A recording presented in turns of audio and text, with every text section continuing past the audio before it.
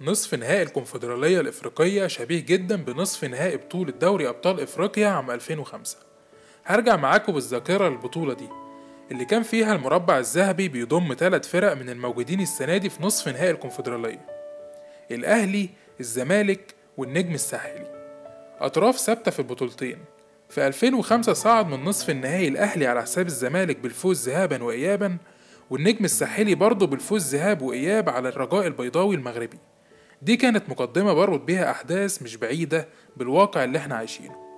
السنة دي أسفر دور المجموعات عن مباراتين قويتين لكن أنا من وجهة نظري مباراة الزمالك هي الأقوى. مباراة الأهلي وأورلاندو أقل قوة نوعا ما لكنها مش سهلة تماما. أورلاندو الجنوب إفريقي الناس ما تعرفش إنه متعثر في الدوري المحلي وبيعيش سلسلة قاسية جدا من التعادلات المتتالية. بالإضافة إلى الأداء الهزيل اللي ظهر عليه أمام الزمالك في الجولة الأخيرة في دور المجموعات والخسارة برباعية. أما الأهلي مفيش قدامه غير إنه يحقق لقب البطولة علشان ينقذ الموسم بلقب كبير بغض النظر عن لقب السوبر المصري اللي هيكون طرف فيه. عودة حسام غالي مهمة جدا لقيادة نص ملعب الأهلي. كمان الأهلي لازم ياخد باله من سرعة الفريق الجنوب أفريقي العالية جدا ومهارة لعيبته الفردية وتحركهم من غير كورة في ظهر المدافعين. خصوصا إن دفاع الأهلي بطيء جدا. تاني نقطة لازم على الأهلي في حالة الهجوم ما يندفعش بطريقة عشوائية لتفادي الهجمات المرتدة السريعة واللي هتشكل دايما خطورة على إكرام أما المباراة التانية اللي هتكون بين الزمالك والنجم مباراة بين فريقين منتعشين محليا بفوز كل فريق بالكأس في بلده. بالإضافة إنها ديربي مصري تونسي معتاد دايما خارج أي توقعات. مباراة سوسة هي مفتاح التأهل للفريقين من وجهة نظر المتواضعة لأن الفرق التونسية في حالة الفوز ذهابا صعب جدا تخسر في الإياب. وأنا من متابعتي التاريخية للفرق التونسية بشوف إنها بتتألق لما بتلعب الذهاب على أرضها. برضه لازم نتكلم عن داهية اسمها فوزي البنزرتي.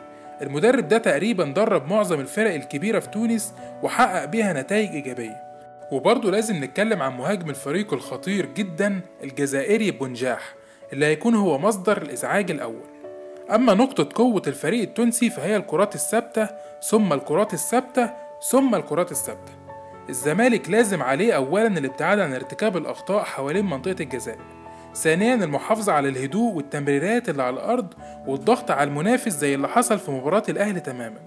ثالثا عدم التكهكر من لاعبي نص الملعب والمدافعين لآخر الملعب ده هيحط الفريق في مشكلة ضغط تونسي طوال 90 دقيقة واللي أكيد هيسبب إحراز أهداف أو على الأقل هيجيبوا ركنيات كتيرة وضربات ثابتة اللي هي زي ما قلت مصدر الخطورة الأساسي نقطة أخيرة الزمالك هيواجه ثغرة دفاعية من الناحية اليمين خصوصا بعد انضمام توفيق للمنتخب العسكري فلازم المدرب يعطي تعليمات بنزول أحد الأجنحة اللي قدام تغطي المكان ده مع حازم إمام أو عمر جابر فهل يتكرر نهائي 2005 بين الأهلي والنجم؟